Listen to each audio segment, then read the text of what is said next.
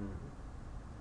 Hey there, Matt Lowry, the skeptical teacher, here to show you a neat trick that you can uh, show your students and your friends.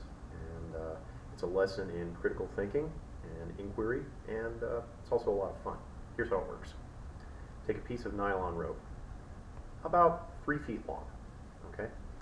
And what you're going to do is you're going to use this rope and you're going to make this rope tie a knot in itself without letting go of the ends. Now this is supposed to be mathematically impossible, but I'm going to show you how to do it. So you take the rope, hold it in your hands like this, uh, put about uh, maybe two or three inches on each end from your fingers, and you, you follow along with what I'm doing here. You take your first hand, move it over your other arm like this, so you have this gap right here, and you're going to move the rope through the gap back here, then it's going to come back this way through this opening, and you should have this kind of cat's cradle looking picture right here. Okay? Now, this next part's really tricky. You have to, while holding on the ends, you have to flip the rope off of both of your wrists. Okay? And it, will help if I show you from the side. It's kind of like this, right? And this is where it takes a lot of practice. Ready? Here we go.